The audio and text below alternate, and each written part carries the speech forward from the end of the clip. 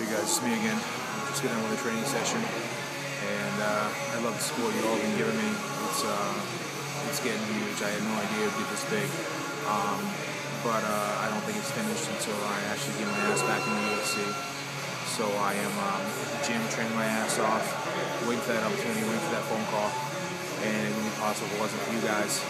So in order to uh, meet and treat back to you guys, I would like to uh, offer anybody on the underground or any one of my Twitter followers or friends on Facebook And when I get my first UFC fight back, I want to bring one of you guys in as a cornerman. I will take care of the corner pass and uh, just have you guys experience everything that I'm going to experience my first fight back in the UFC because I really truly believe it would be possible if it wasn't for you guys.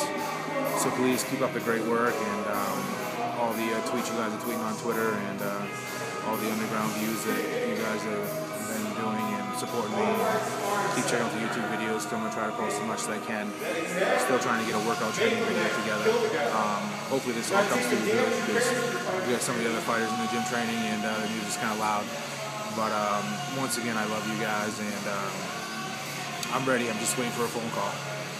So uh, keep your support up to Lorenzo Fertitta, Dana White, Joe Silva, and Sean Shelby.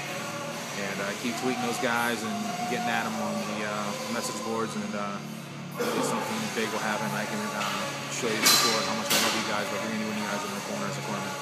Thanks again. Hope to see you guys soon.